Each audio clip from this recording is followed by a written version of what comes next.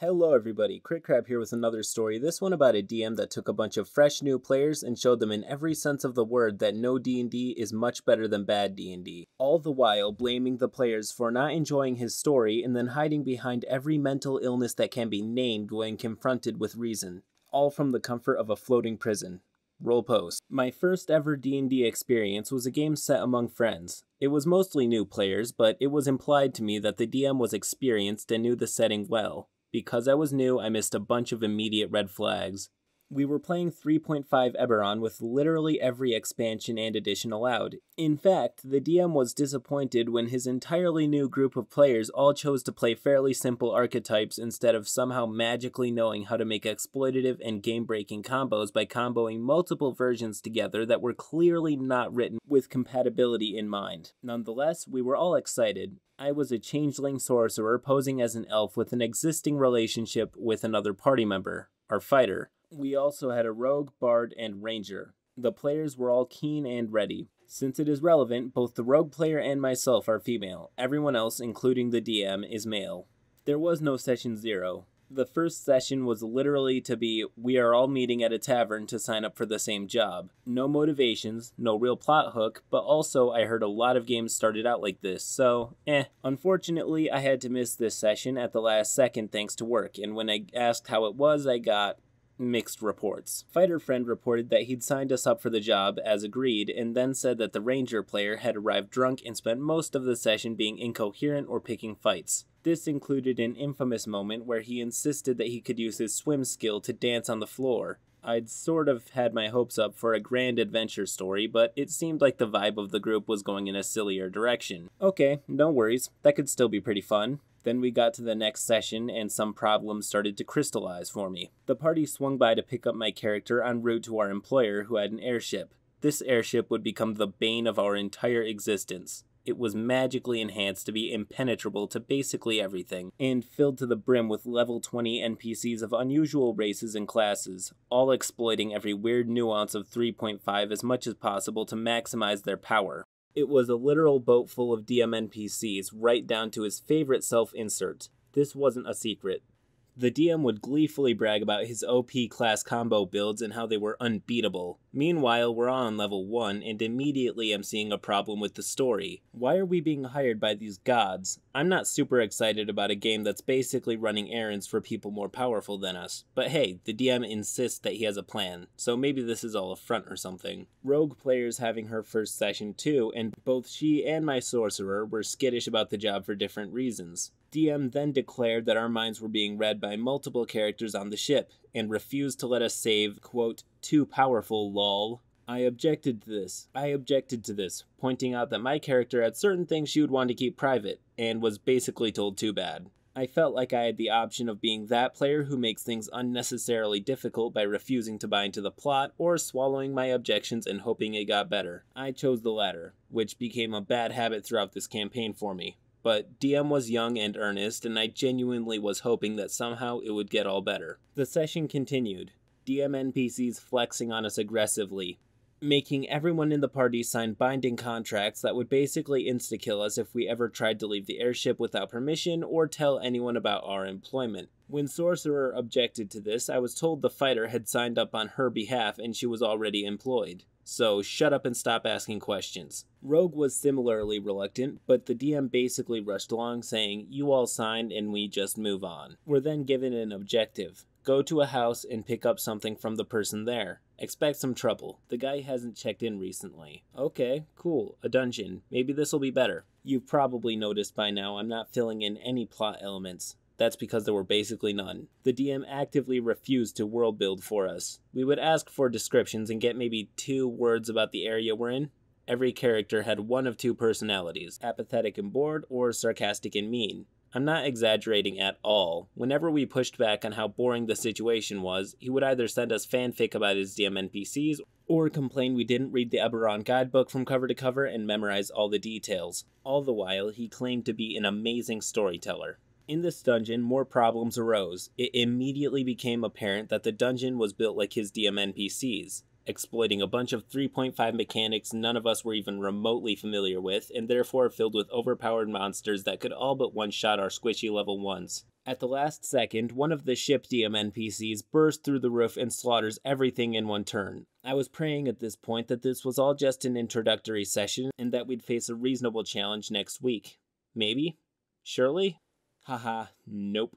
For the next few sessions, the pattern was the same throw our party at a challenge that wasn't even remotely scaled to our level, all but murder us, and then when the DM realized we were about to TPK, send in his level 20s to rescue us. This was incredibly demoralizing and unfun. Myself, rogue player, and bard player all started playing on our characters as frustrated and digging in their heels on these missions they were clearly unqualified to go on. Fighter player was a sweetheart and didn't want to cause waves, so he played his character as more agreeable, if worried about sorcerer's safety. This upset the DM because we apparently were supposed to be all delighted at how cool and brave his NPCs were for saving us all the time. We tried to explain multiple times what we weren't enjoying, and it was like talking to a wall. He would nod, say he got it, and then literally do the same thing again. Then he got dismissive and even a bit jerkish that we'd keep bringing up this not having fun problem. Looking back on it, we should have quit. In fact, Ranger Player did quit, citing work obligations. Smart guy. So why didn't we? Well, we were all friends outside of the game and didn't want the bridge burned. The DM was young, 20, and had some mental health problems we were trying to tread carefully around too. Finally, we really liked our characters and we really wanted to love this game. The group was thirsty for a genuine story that we could dig our teeth into, and I think we all sort of believed that if we just held on long enough, then somehow we'd get that.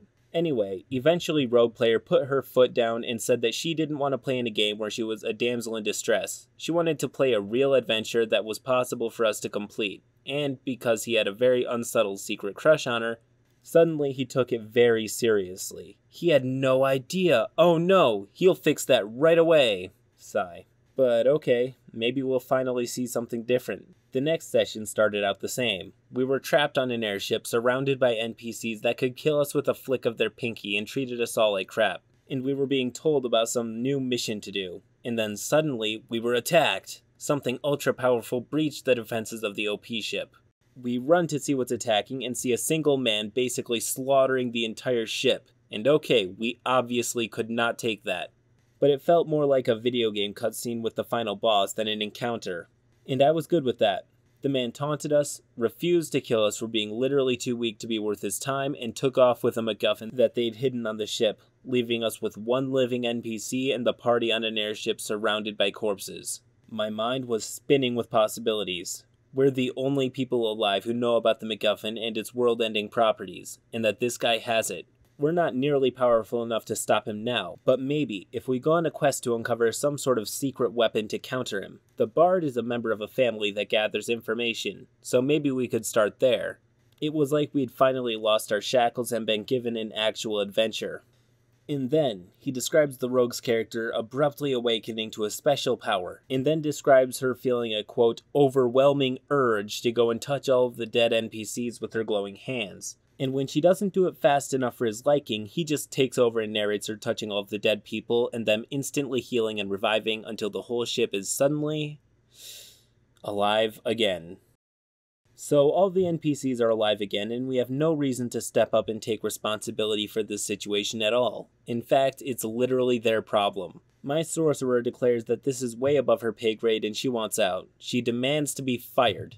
End of session. Before the next session, the DM sent me a whiny message complaining that my character wanting to quit was really messing up his plans. I told him quite bluntly that the only thing she had keeping her there was her fighter friend, and the massacre of an entire airship of OP NPCs right in front of her very much overrode that. I had tried and tried to be flexible about this, but the situation was ridiculous, and no reasonable person would stick around after that without an amazing reason. She also does not trust the NPCs to not get her killed, and she doesn't trust trust that they can protect her now. It's on him as the DM to create reasons for her to stay, and no, threatening her was not a good reason to stay. Huge tool move on my part? Yes. I don't really regret it though. This ended the era of me being soft and gentle to the DM about his flaws. The next session started with the captain of the ship giving a big speech that the DM assured me would, quote, make my character feel better about feeling weak. The speech can basically be summed up as the speech can basically be summed up as we deliberately let him take the MacGuffin and murder us as part of our master plan, and we secretly knew that the rogue had magical revival powers all along, and that Big Bad wouldn't swat her out of existence because of his arrogance, and now we have the upper hand.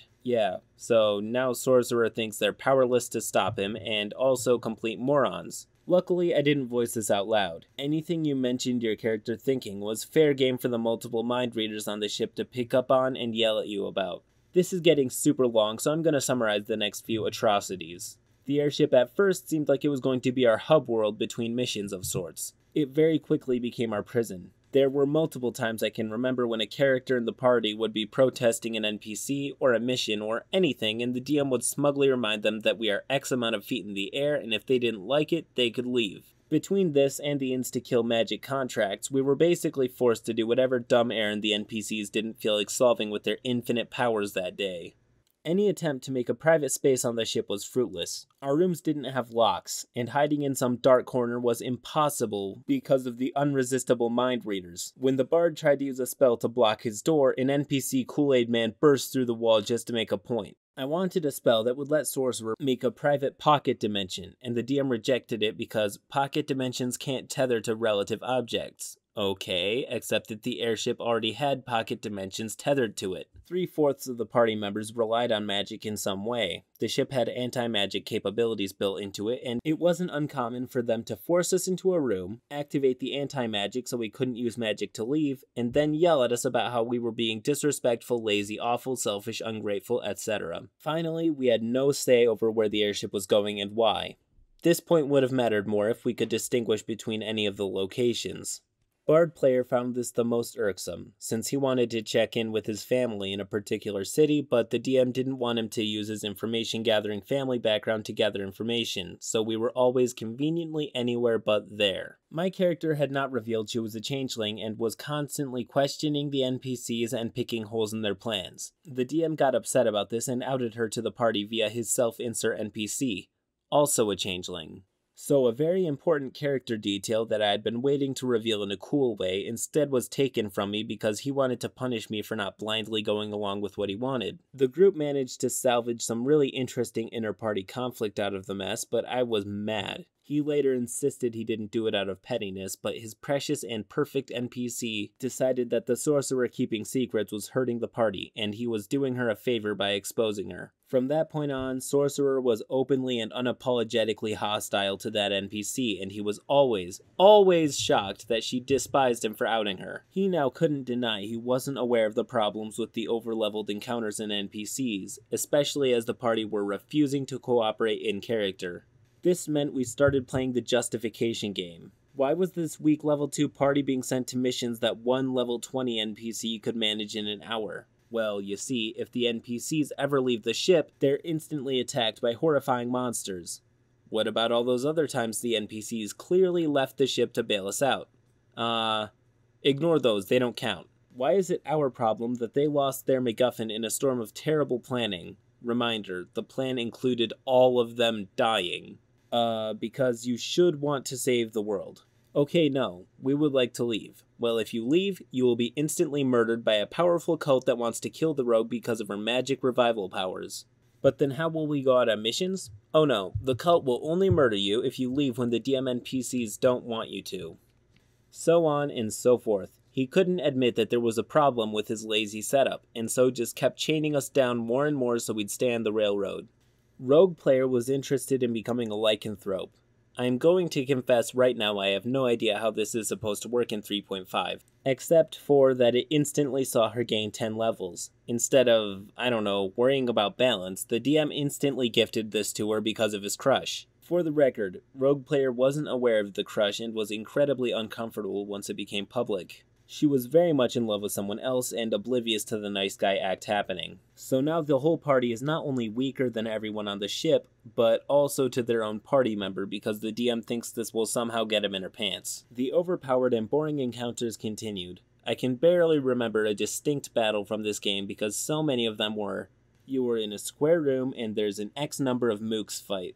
Social encounters were similarly boring. Either the character would completely stonewall us because he didn't want us to try and go that way, or they would be petty, sarcastic, and mean. I also started to notice that all of the DM NPCs would abruptly become hostile at the same time if the DM was mad at the player. I took the brunt of this. My character was insulted for being angry at being outed, frightened at being nearly murdered on a mission, and betrayed when an NPC's complete and utter recklessness put her in danger. Her concerns were only valid if another party member backed her up. The only saving grace of these games was the party roleplay. I loved the connection between Fighter and my sorcerer, they were the de facto brother and sister and would have long conversations about the ship and their situation. She gained a close friend in the rogue eventually, resulting from the changeling reveal and fallout, so the DM claimed credit for it. And I even had a friendly rivalry with the bard, a nobody picks on him but me sort of thing. My happiest times in the game were building these relationships. Naturally, the DM insisted on forcing his NPCs into every single conversation we had, if the party had an in joke, cute scene, or in game competition, suddenly the NPCs would appear and try to co opt it. One time, he literally forced his way into a heartfelt conversation between Sorcerer and Rogue to have his self insert tell Rogue not to be afraid and that they were all her family now, and then gave her a ring of invisibility, the sorcerer was literally shoved out of the scene until I pointed out I was still there, and got a half hearted, uh, oh yeah, you too, I guess. That was the first time the rogue player started to realize that she was getting special treatment. The bard died in one of the overpowered fights. Oh well, the rogue has a magical revival power, right? No, the DM suddenly said it didn't work and demanded that we instead fork over all of our money for a resurrection scroll instead. He later proudly told us out of character that this was his solution to us accumulating too much wealth for our party level. He was the one who set our salary. He had this whole thing about the party members falling in love and having babies. This began with a silly gag about the bard and the rogue, and then was quickly taken too far by the DM. The bard had his memories modified at some point, and the DM told me he intended to push the relationship between the two by creating false memories because it would be funny. I told him that the rogue would not like that, and he dropped it. He also pressured me to have my character be more spontaneous with her shapeshifting. Many changelings in this world were some sort of prostitutes or worked in brothels, and my character was considered prudish for not having the same opinion of shapeshifting as his self insert. He later demanded that the Warforged develop feelings for one of the NPCs and complained that the bard did not seduce enough. It got really old. The whole party eventually got sick of the imbalance and complained, so the DM took a three week sulk break and then came back and announced a sudden time skip in which all of our characters would level from about 4 to 12. Apparently, we all accepted an apprenticeship under different ship NPCs, despite the entire party being indifferent to them at best. Okay, fine, whatever. Maybe he's better at designing encounters for a mid level party. Haha, nope. He just wanted an excuse to abuse higher level stuff like level 9 spells. The first encounter we had post leveling was an underground square room that had no shadows. The rogue's build relied on shadows for her sneak attack, and she was super excited to use it and feel powerful for one. We faced a wizard with 10 times the normal amount of hit points who trounced us until an NPC stepped in. Sigh. The rogue pretty much thinks that this encounter was designed to put her in her place for being excited about being powerful. Not even she is allowed to be more powerful than the mighty DM NPCs. The fighter player wanted his character to have a bit of a cool backstory as a wandering warrior who vanished when he joined my sorcerer while she was young. The DM agreed to this and then never brought it up once. He wasn't asking for much, just a unique rumor and maybe the occasional NPC recognizing him as a fighter who had once saved them from bandits or something. The DM never once utilized this. All of the Warforged on the ship were cooler and stronger than him, and nobody gave him the time of day because he was the quote dumb fighter.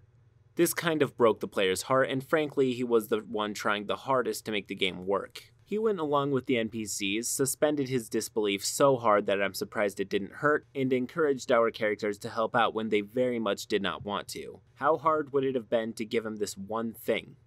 He described the ship getting together for regular. What the f. He described the ship getting together for regular orgies when we all noped out of that aggressively, we were pu- we were prudes again. No. Don't you just hate it when those powerful DM NPCs get together and like take you on as their underlings and then you're and then they're just like And then it's like, okay, I guess it's orgy time. This is what normal people do, right? That alone, the ship getting together for regular orgies part alone is good enough for the for, the entire story. Uh, okay, okay, I'm gonna have to continue reading, aren't I? This better be worth it. This video better get a ton of likes. God Ex Machina. Near the end, I had a moment where my character left the airship and wasn't planning on returning when the NPCs wanted her to the DM decided to literally have the god of her faith descend from the celestial plane to tell her to go back to the ship and respect her NPCs and follow orders like a good little servant. Or they would curse her. Said god was a trickster god who favored discourse and shaking up the natural order of things. I told the DM that she thought she had encountered an impostor, and he got offended and whined that I needed to go back to the ship already. I tried over and over again to get him to improve. I sent him resources, I wrote feedback on unsatisfying scenes and things he could try differently. I called out the creepy stuff in and out of game. Boy, was I getting sick of him bothering the rogue player at this point. He would constantly pretend to take what I was saying on board and then completely ignore it when it wasn't 100% praise for him and his amazing stories. In general, the DM just had no idea how to give us what we wanted. We weren't complicated as players, we wanted to have an adventure and face challenges that we would overcome without needing to be rescued. The problem was, the DM did not want to run a game, he wanted a captive audience for his amazing NPCs and their story. This all went on for a year or so. By this point, the game was basically a social trap. The DM was heavily involved in the club we played at, and at our regular social groups, he was known for tantrums. We all felt like quitting the game would basically cause an apocalyptic event. Not to mention, nobody was communicating about how they felt with the other players, so everyone had the feeling that leaving would basically be ruining everyone else's fun. It was geek social fallacies at work. That all changed one fateful night. I was at a party chatting with an unrelated person. I was also quite drunk. You're in DM's game, right? he asked. I heard him saying it was going amazingly and you all were having a really good time.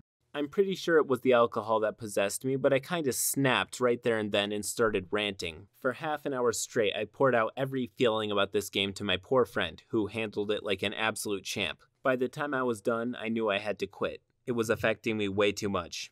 No D&D is better than bad D&D. I told the other players my intentions first, and well, that's when we found out everyone had felt the exact same way, but had been too polite to bring it up and collectively, as a group, we all agreed it was done. Then we agonized over a kind but firm message to the DM to tell him that we were done that would somehow minimize the chances of him having an absolute meltdown about it. That took about three days. Fortunately, the DM actually took us all quitting with a relative amount of grace, at least initially. He'd later get drunk and passive aggressive and loudly talk about us all being bad players who hated fun, and how he gave us everything we wanted and we were greedy and wanted more. Personally, I'd sincerely hoped that he'd learn something from the experience. Like maybe having four players drop you like a hot potato would give you a serious reality check. Nah, it was the players who were wrong.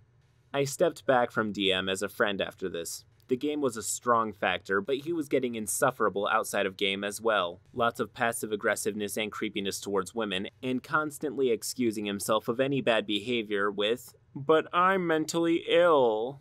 There was also a weird period where I think he somehow expected us all to crawl back to him and beg him to start the game up again. Like, he would smugly tell Fighter Player that he was playing slash running five different games and having so much fun. And gosh, how many games are you playing? Right? Oh, that's right, none. Joke's on him though. Remember the friend I drunk ranted at for a disproportionate amount of time? Well, turns out he's a DM, and he was considering starting a story heavy campaign. Just needed players. And oh my, we all had just become available. We've been playing in a story rich 5e campaign for over a year now, and it is amazing. The new DM is a treasure, and we all adore and cherish him. The combat is hard, but not unfair. The NPCs are varied, interesting, and fun, and most importantly, there are no airships! Well, at least this story has a happy ending. That's a lot more than what most groups found on this subreddit have to say, sadly. And when it comes down to it, complaining to your players about how they are not having fun is as laughable as it is toxic. But seriously though, I know his mental illnesses haven't been touched upon that much in the story, but OP expands further on DM's mental illnesses in the comments. Uh, roll comment, I guess? To hear him tell it, he had every diagnosis under the sun. At the very least, he was on the spectrum and had some depression issues. I couldn't really comment on the other claims.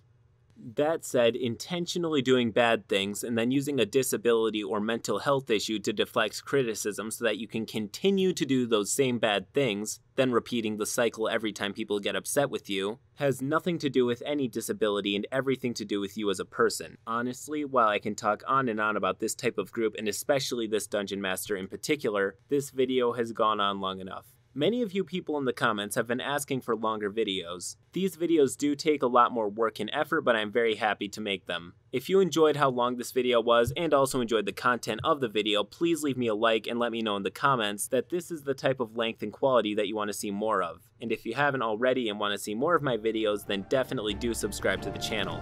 Till next time.